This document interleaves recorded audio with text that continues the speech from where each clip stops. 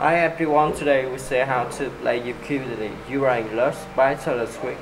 First is the keyboard in the second frame. The chords to this song are C, G, and EM. The first to play 4, 3, 2, 1, 3, 4, 2, 3, 1, 3, and to play long. G,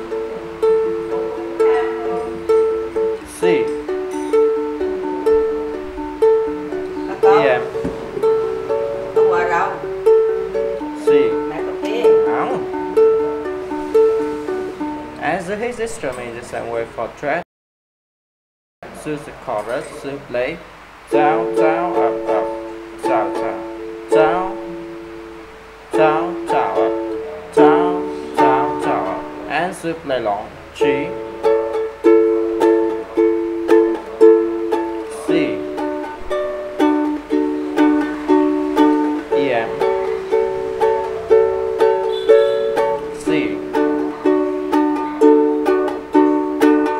As to his instrument is the same way for track.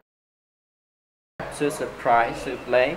K four three two one three four three two one three and to play long. G.